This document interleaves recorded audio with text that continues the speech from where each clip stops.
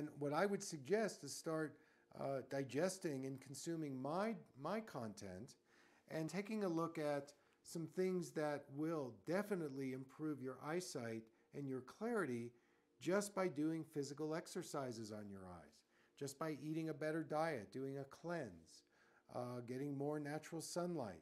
Um, these are all things that can really help you in terms of regaining your eyesight.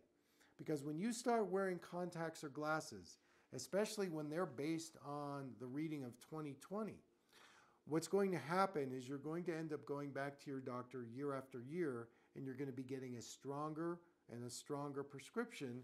And eventually that's going to lead to bifocals, trifocals, and eye disease.